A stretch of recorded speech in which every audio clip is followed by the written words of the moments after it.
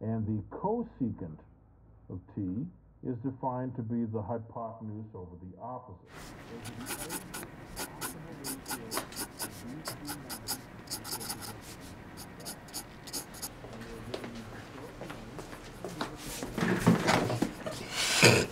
Look who's late as usual. Shut up.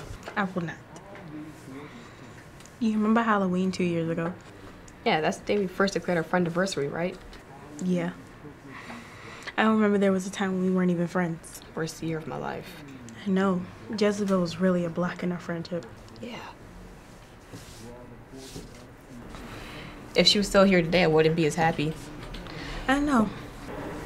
Aren't we supposed to be in a flashback by now? Don't break the fourth wall. If it wasn't for that Mm, kid friendly.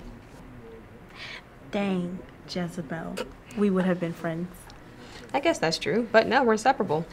Duh, I'm not leaving till I'm dead. And at this rate, that's not happening anytime soon.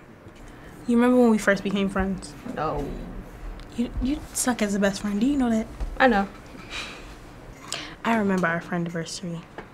You used to give pretty warm hugs.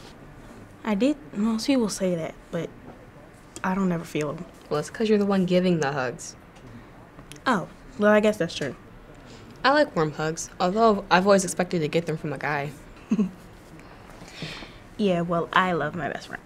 I love my best friend too. All right, come on, bring it. Come on, come on.